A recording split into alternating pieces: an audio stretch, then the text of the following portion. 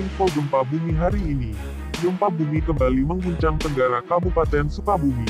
Selasa dini hari tanggal 26 April tahun 2022.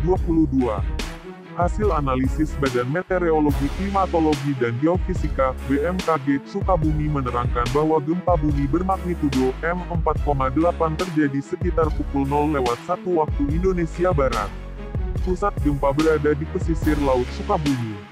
Terletak pada titik koordinat pukul 7.48 lintang selatan LS 106.68 bujur timur BT, dengan kedalaman 25 km atau tepatnya berada di jarak 56 km tenggara Kabupaten Sukabumi.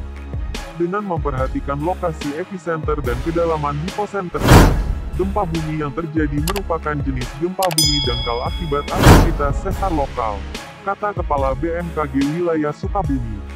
Dampak gempa bumi yang digambarkan oleh tingkat guncangan Sakemap BMKG, dan berdasarkan laporan dari masyarakat, Dampak gempa berupa guncangan dirasakan dengan skala I3, I3, 2, 2 MMI, di wilayah Sukabumi, Cianjur Selatan, Garut, Pangandaran dan sekitarnya.